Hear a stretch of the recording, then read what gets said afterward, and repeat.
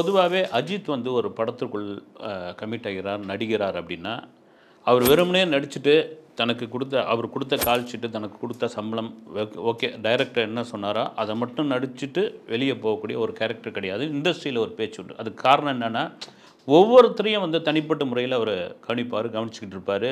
ஒரு சின்ன பிரச்சனைனா கூட அதை ஒரு ஹீரோவாக போயிட்டு அதை சரி செய்வார். வந்து காலகாலமாக நம்ம வந்து தெரிஞ்ச விஷயம் கேள்விப்பட்ட விஷயம் பல டைரக்டர்களுக்கு சொன்னது வந்து இப்போ சமீபத்தில் ஒரு விஷயம் கேள்விப்பட்டப்போ எனக்கே கொஞ்சம் ஆச்சரியமாக இருந்தது அஜித் தான் இதை பண்ணாரா அப்படின்னு. என்னென்னா அசிஸ்டன்ட் டைரக்டர்களுடைய விஷயத்தில் அஜித் வந்து இந்த குட் பேட் அக்லி அதுக்கு முன்னாடியே வந்து விடாமுயற்சிலையும் அது ஒரு விஷயம் பண்ணியிருக்காரு அப்படின்னாங்க வந்து.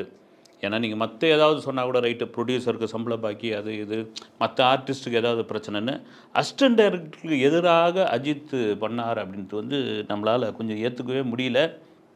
ஓகே.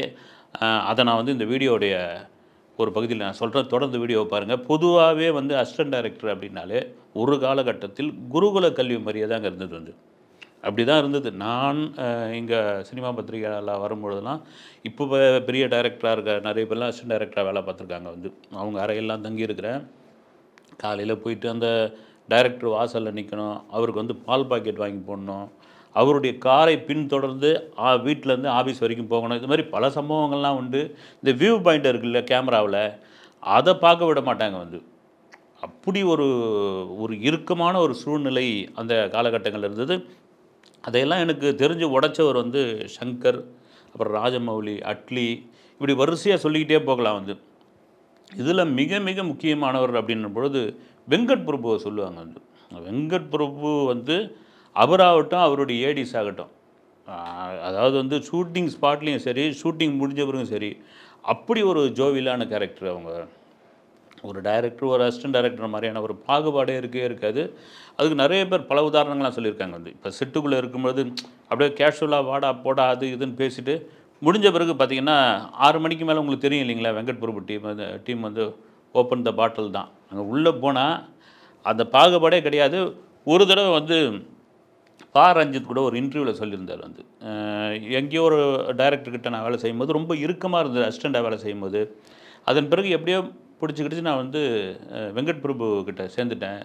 சேர்ந்த பிறகு அங்கே பார்த்தீங்கன்னா அப்படி ஒரு சுதந்திரம் இருந்தது அப்படி ஒரு ஜோவியலான ஒரு விஷயம் வந்து யாருக்கும் ஒன்று கட்டுப்பாடுகள் கிடையாது. அவங்கவுங்களோட கருத்தை வந்து சொல்லலாம்.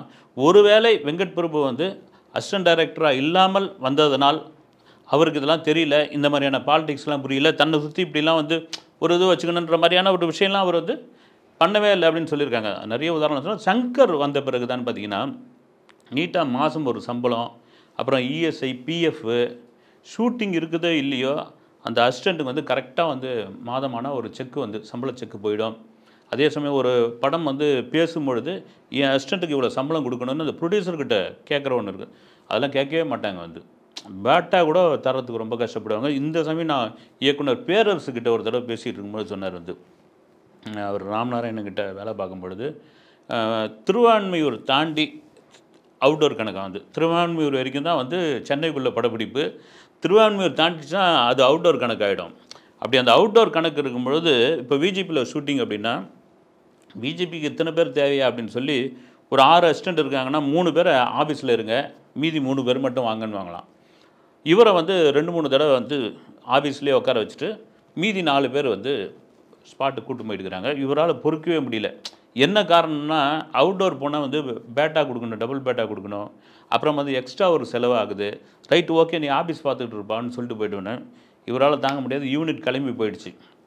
இவர் நேராக சைதாப்பேட்டை போய் சைதாப்பேட்டையிலேருந்து ஒரு பஸ்ஸு பிடிச்சி திருவான்மையூரில் இறங்கி திருவான்மையூர்லேருந்து அப்போ ஷேர் ஆட்டோ மாதிரி எந்த இதுவும் கிடையாது. ஏதோ ஜட்கா வண்டி குதிரை வண்டியில் ஏறி விஜிபி போய் விஜிபியில் வாட்ச்மேன் விட மாட்டேன்றான்.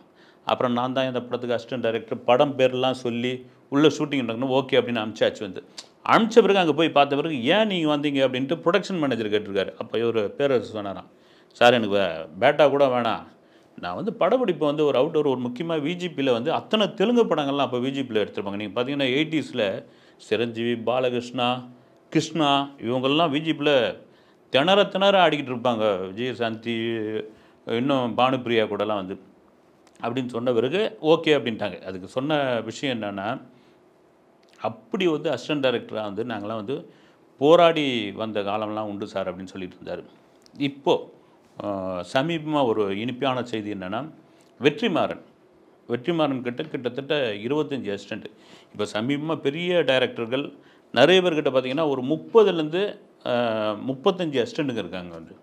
ஒரு சமயத்தில் வந்து ஆறு ஏழு பேர் கூட சேர்த்துக்க மாட்டாங்க. அதிகபட்சமாக பத்து பேர் வச்சுப்பாங்க. இப்போ ஒரு ஒரு இரு இருபத்தஞ்சி முப்பது பேர் வச்சுருக்காங்க. அவங்கவுங்களுக்கான ஒவ்வொரு டிபார்ட்மெண்ட்டுக்கும் ஒரு மூணு மூணு பேரை பிரித்து கொடுக்குறாங்க. வெற்றி வெற்றிமாறனிடம் ஒரு இருபத்தஞ்சி அசிஸ்டன்ட் டைரக்டர் வந்திருக்காங்க. ஒரு நாள் என்ன பண்ணிக்கிறார் கூப்பிட்டுருக்காரு. கூப்பிட்டு அலுவலகத்தில் கூப்பிட்டு ஆளுக்கு ஒரு கையில் வந்து ஒரு டாக்குமெண்ட் கொடுத்துருக்காரு. கொடுத்த பிறகு எல்லாரும் கொஞ்ச நேரம் இதுவாக எடுக்கிறாங்க. இது மாதிரி ஸோ ஸோ இந்த டேட் அன்றைக்கி நீங்கள் வந்து ரிஜிஸ்டர் ஆஃபீஸ் வரணும் நீங்கள் உங்கள் பேரில் வந்து ஒரு கிரவுண்டு இடம் வந்து ரிஸ் பண்ணால் நான் வாங்கி தரேன் அப்படின்னுக்கிறாரு மகிழ்ச்சி ஆகிட்டு செங்கல்பட்டு பக்கத்தில் உத்தரமேரூர் கிட்ட வந்து இருபத்தஞ்சி அசிஸ்டண்ட்டுகளுக்கும் ஒவ்வொரு கிரவுண்டு இடம் வாங்கி கொடுத்துருக்காரு வெற்றிமாறன். அதில் என்ன சொல்லியிருக்காரு? நீங்கள் வீடு கட்டினீங்கன்னா கட்டிங்க விவசாயம் பண்ணுறதா இருந்தால் பண்ணிக்கங்க. ஆனால் எக்காலத்தை கொண்டும் இதை வந்து விற்கக்கூடாது நீங்கள் அவர் சொன்னதுக்கான காரணம் என்னென்னா சினிமா வந்து ஒரு நிரந்தரம் இல்லாத தொழில். இதுலேருந்து இருக்கிற இந்த இருபத்தஞ்சி அசிஸ்டண்ட்டுகளில் எத்தனை பேர் வந்து டைரக்டர் ஆவாங்க எத்தனை பேர் பெரிய டைரக்டர் ஆவார்கள்னு வந்து தெரியாது. அப்போ ஏதாவது ஒரு காலகட்டத்தில் இது வந்து உங்களுக்கு உதவும். இதை வச்சுங்கன்னு சொன்னது வந்து நெகிழ்ச்சி ஆகிப்போச்சு இப்போ அது மாதிரி தான் மாறிடுச்சு. உங்களுக்கு வந்து பிரதீப் ரங்கநாதன் கூட ஒரு விளம்பரம் கொடுத்துருந்தார். அசிஸ்டன்ட் டைரக்டர் வேணும் அப்படின்ட்டு எக்ஸ் வலைதளத்தில். அதில் பார்த்தீங்கன்னா ஒரு சாஃப்ட்வேர் கம்பெனியில் ஒரு ஐடி கம்பெனியில் வேலை பார்ப்பாங்க இல்லைங்களா? அது மாதிரியான ஒரு விஷயங்கள்லாம் அதில் வந்து தொடர்ச்சியாக இருந்துருந்து இது வந்து கார் ஓட்ட தெரியணும் கம்ப்யூட்டரில் வந்து நாலேஜ் இருக்கணும். அப்புறம் பார்த்திங்கன்னா தமிழ் இங்கிலீஷ் வந்து டிரான்ஸ்லேஷன் தெரியணும். தொடர்ச்சியாக இருந்தது காரணம் என்னென்னா இன்றைக்கி சினிமா மாறி போயிடுச்சு. அது மாதிரியான அஸ்டண்ட்டுகள் தேவை அப்படின்ற ஒரு சூழ்நிலை வந்தாச்சு வந்து. அதுதான் காரணம். குஷி படம் எனக்கு வந்து ரெண்டாவதாக நான் பண்ணிக்கிட்டு இருக்கும்போது அசிஸ்டன்ட் டைரக்டர் ஏடி சார் பொழுது வந்து. என்னுடைய மனைவிக்கு வந்து ரெண்டாவது பிரசவம். அந்த நேரம் காசே இல்லை.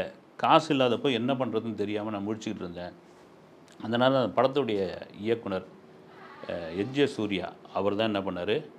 அந்த மருத்துவ செலவு மனைவிக்கான பிரசவ செலவு முழுக்க வந்து அவர் தான் ஏற்றுக்கிட்டாரு அப்படிலாம் அசிஸ்டன்ட் டைரக்டராக சிரமப்பட்டுருக்குன்னு மறைந்த நடிகர் மாரிமுத்து வந்து ஒரு இன்டர்வியூவில் கொடுத்துருந்தார். இதெல்லாம் ஏன் சொல்லிட்டு வரோம்னா நீங்கள் காலாகாலமாக அந்த அசிஸ்டன்ட் டைரக்டர்களுடைய வாழ்க்கை அப்படி தான் இருந்தது. அது எல்லாம் மாற்றுந்து யாருன்னா சங்கர் ராஜமௌலி அட்லி இவர்கள் எல்லாம் வந்த பிறகு தான் அப்படியே வந்து ஒரு கார்ப்பரேட் நிறுவனத்தில் வேலை பார்க்குற மாதிரியான ஒரு இது வந்தது. நீங்கள் ராஜமௌலிலாம் கிட்டத்தட்ட ஒரு நாற்பத்தோரு பேர் வச்சுருக்காரு அசிஸ்டன்ட் டைரக்டராக அத்தனை பேருக்கும் வந்து அவ்வளோ பிரமாதமான சம்பளம் கொடுத்துட்ருக்காரு அப்படின்னாங்க வந்து. இப்போ அஜித் மேட்ருக்குள்ளே வருவோம். சரி அஜித்துக்கும் அசிஸ்டன்ட் டைரக்டருக்கும் என்ன பிரச்சனை அப்படின்னு. குட் பேட் அக்லி படம் இருக்கு இல்லைங்களா? அந்த படத்தில் வந்து ஆதிக் ரவிச்சந்திரனுக்கு கிட்டத்தட்ட ஒரு இருபத்தி ஏழு பேர் அசிஸ்டன்ட் டைரக்டராக இருந்திருக்காங்க. இருந்தவுடனே இந்த ப ராமஜரா ஃபிலிம் சிட்டியில் படப்பிடிப்பு அந்த படப்பிடிப்பு முடிஞ்சவுடனே ஜப்பான் சைனாவில் பெரும்பாலும் வெளிநாட்டில் தான் அதனுடைய படப்பிடிப்பு நடக்க போகுது. அப்போ என்ன பண்ணியிருக்காங்க இந்த இருபத்தேழு பேர் பெரும் பெரும்பாலும் அப்போல்லாம் வந்து நான் சொல்கிறது வந்து தொண்ணூறு காலகட்டங்களில் ரெண்டாயிரத்துலாம் ரெண்டாயிரத்து தொடக்கத்தெல்லாம் பார்த்தீங்கன்னா இது மாதிரி ஃபாரின் யூரோப்புக்கெலாம் போகும்பொழுது நிறைய டெக்னீஷியன்ஸ்லாம் குறைச்சிடுவாங்க அசிஸ்டன்ட் டைரக்டர் ஒரு ரெண்டு பேரை கூட்டும் போவாங்க. என்ன காரணம்? செலவு அதிகமாகிடும் இந்த விசா ப்ராசஸிங் அது இதுன்னு அதுக்கு தேவையில்லாத ஒரு இது அசிஸ்டண்ட்டுக்கிட்டே சொல்லுவாங்க. ஒரு அஞ்சு பேர் வேலையை நீ செய்யணும் வரையா அப்படின்ட்டு. ஓகே அப்படின்னு கிளம்பிடுவாங்க. ஏன்னா வந்து ஸ்விஸ்ஸு நார்வே லண்டன் இதெல்லாம் பார்க்க போனோம் இல்லைங்களா அப்படின்ட்டு. இப்போ வந்து மாறிடுச்சு. இப்போ எல்லா அசிஸ்டன்ட் டைரக்டர்லையும் கூட்டு போகிறாங்க வெளிநாட்டுக்கு. வெளிநாடு போகிறது ரொம்ப சர்வ சாதாரணமாகிடுச்சு இப்போ உள்ளூரில் படப்பிடிப்பு நடத்துறது தான் பெரிய கஷ்டமாயிடுச்சு. சரி ஓகே அஜித் மேட்ருக்குள்ளே வரும் அஜித் படத்துக்கு குட் பேட் அகலிக்கு ப்ரொடியூசர் தரப்பில் அந்த இருபத்தேழு பேருக்கும் வந்து விசா எடுத்துடலாம். அதெல்லாம் ஒன்றும் ஒரு பிரச்சனையும் இல்லைன்னு சொல்லியிருக்காங்க. ஒரு நாள் அஜித் கூப்பிட்டு ஆதிக்கிற வச்சதுங்கிட்ட கேட்டதாக ஒரு தகவல் வந்து நமக்கு வந்து சோர்ஸ் வந்து. எத்தனை பேர் இருக்காங்க? ஏது அப்படின்னு கேட்டப்போ சார் இவ்வளோ பேர் இருக்காங்கன்னா இதில் ஒரு அஞ்சு பேர் ரொம்ப பிரமாதமாக ஒர்க் பண்ணுறவங்க யார்? அவங்கள மட்டும் செலக்ட் பண்ணிக்கங்க. அப்படின்னு இவருக்கு ஒன்றுமே புரியலையா? அவங்கள மட்டும் இது பண்ணி மீதி எல்லாம் வந்து ஆஃபீஸ்லேயே இருக்கட்டும் இல்லை வீட்லேயே இருக்கட்டும் படப்பிடிப்பு நம்ம வந்து லோக்கலில் இங்கே அதாவது ராமஜாரா ஃபிலிம் சிட்டியோ அல்லது வந்து சென்னைக்குள்ளே இந்தியாவுக்குள் படப்பிடிப்பு இருக்கும்போது அவங்க வந்து ஜாயின் பண்ணிக்கிட்டோம் அப்படின்னு சொன்னதாக ஒரு தகவல் விசாரிச்சப்போ அது ஏறக்குறைய உண்மைதான் சொன்னாங்க வந்து. என்ன காரணம்னு தெரியல. ப்ரொடியூசர் சொல்லிட்டாரு செலவு பண்ண போகிறோம் அவங்க. அதை தாண்டி ஏன் இதை தடுத்துருக்காருன்னு இது வரைக்கும் ஒன்றுமே புரியல. இதே பிரச்சனை விடாமுயற்சிக்கு நடந்திருக்குது. ஏன்னா படம் முழுக்க அஜர்பைஜானில் தான். இப்போ ஏதாவது வந்து பேட்ச் ஒர்க் எடுத்தால் மட்டும்தான் வந்து இங்கே சென்னையில். அந்த படத்துக்கு மகள் திருமணிக்கிட்ட கூப்பிட்டு சொன்னாராம் வந்து ஒரு ஆறு ஏழு பேர் மட்டும் போதுங்க. மீதி ஆட்கள்லாம் வந்து நீங்கள் வச்சுருங்கன்னு. திரும்பவும் வந்து இது எப்படி நான் கிராஸ் செக் பண்ணி பார்க்கும் பொழுது ஆமாங்க அவ்வளோ பேர் தான் ஒர்க் பண்ணிக்கிட்டு இருக்காங்க. மகிழ் திருமணிக்கிட்டையும் கிட்டத்தட்ட ஒரு பதினாலு பேர் பதினஞ்சு பேர் அசிஸ்டண்ட்டாக இருக்காங்க அப்படின்ட்டு. அதுக்கு ஏன் சொல்ல வரேன்னா ஒரு காலத்தில் அசிஸ்டன்ட் டைரக்டர்கள்கிட்ட கதை கேட்டு அதில் வந்தவர் தான் வந்து அஜித் வந்து. பல அசிஸ்டன்ட் டைரக்டர்கள் வந்து இங்கே எஜ்ஜ சூர்யாலாம் வந்து அசிஸ்டன்ட் டைரக்டராக இருக்கும்போது கதை சொல்லி சரவண சுப்பையா இவர்கள்லாம் வந்து ஒரு டைரக்டராக ப்ரொமோட் பண்ணது வந்து அஜித் தான். ஏன் எதுக்காக வெளிநாட்டுக்கு அதாவது வந்து சாமியே வரம் கொடுத்துருச்சு பூஜாரி ஏன் வரம் வரம் கொடுக்கல அப்படின்ற ஒரு மனநிலை தான் அந்த வெளிநாடு போகாத அந்த அஷ்டர்களுடைய மனக்குமுறலாக இருக்கும். இதற்கு அஜித்தோ அல்லது அஜித் தரப்பினரோ பதில் சொன்னால் மட்டும்தான் உண்டு. நன்றி.